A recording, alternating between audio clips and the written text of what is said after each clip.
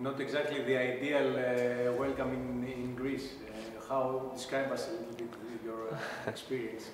Uh, for my first experience outside of my country, it, it, has been a journey. uh, I had, I've been one day, we, I, um, we have been one day, me and my agents, uh, in the airport uh, without, uh, without food because the restaurants were closed, without um, a way to, um, a place to sleep. the club PAOK helped us a lot. Did they did everything they, they could, um, and uh, about uh, 11 p.m. Uh, they a little bit earlier. They told us to to go to to a place who to, to rest a little bit and then some uh, had some couch, couch couch you know what I mean to sleep a little bit and it was they saved us they saved us because there we could we could eat um, we, we ate, we, we slept.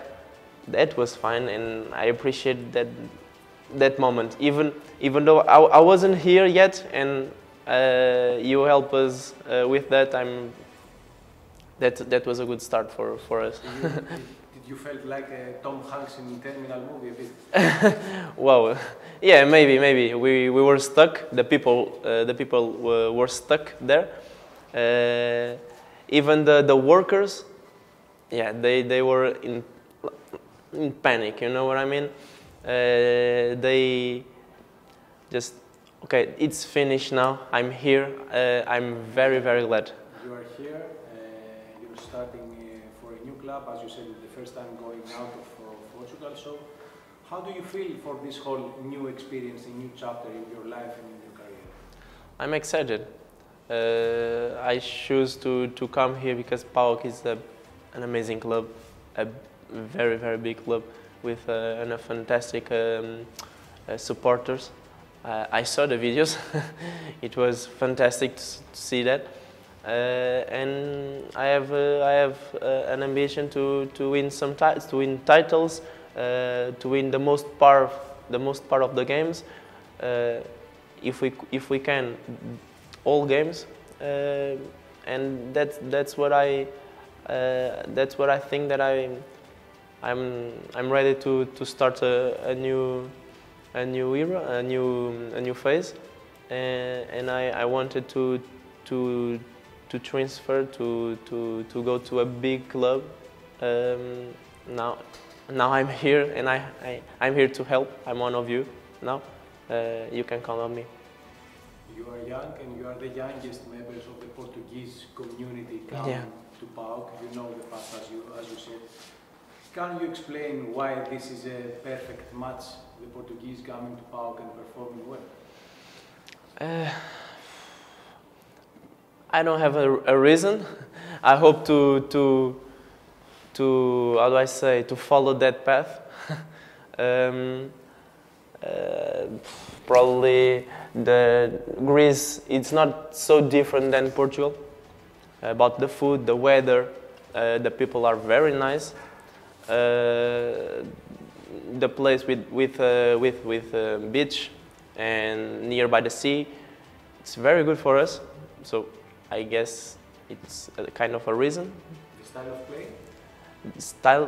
The style of play of Greek football in comparison with Portuguese. Yes, yes, I, I can I can say that. I can say that. I can say that um, we have uh, a lot of in similar, a lot of a lot of things that they are similar. Uh, an attack, an attacking uh, football uh, with the combination with technique and and physique.